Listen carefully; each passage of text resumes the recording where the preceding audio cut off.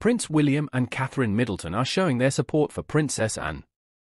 The Prince and Princess of Wales posted a supportive message on their Instagram stories for the 73 year old Princess Royal, who made her first public appearance after being hospitalized due to a horse related incident last month they reshared a post from the royal family's official Instagram account, which featured Princess Anne returning to her duties by visiting the Riding for the Disabled Association RDA National Championships at Hartpury University and Hartpury College in Gloucestershire. Over the photo, they wrote, Super Trooper.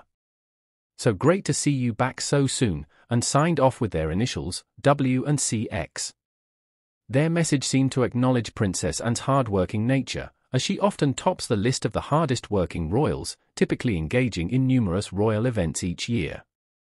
However, her injuries have kept her from her duties, causing her to miss several engagements since the horse riding accident in June.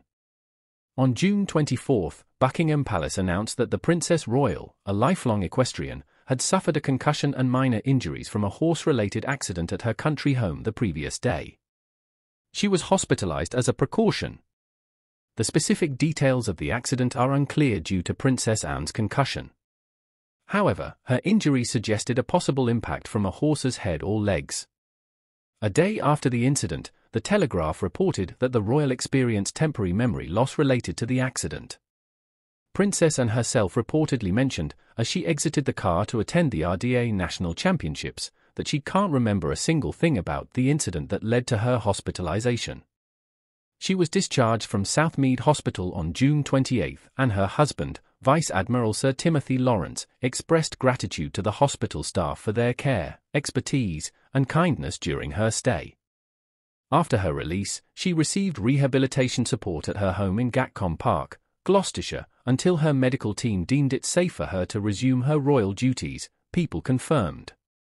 Meanwhile, Prince William, 42, has continued his royal duties and was recently seen at the Outsourcing Incorporated Royal Charity Polo Cup 2024 at Guards Polo Club in Windsor, which raises funds for various charities supported by him and his wife.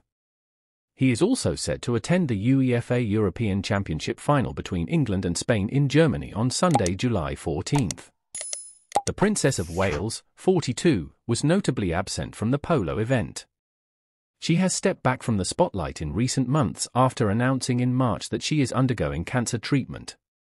However, she attended King Charles' birthday parade on June 15, marking her first public appearance with the royals since Christmas. Kensington Palace has also confirmed that she will attend the men's singles final at Wimbledon on Sunday, July 14th.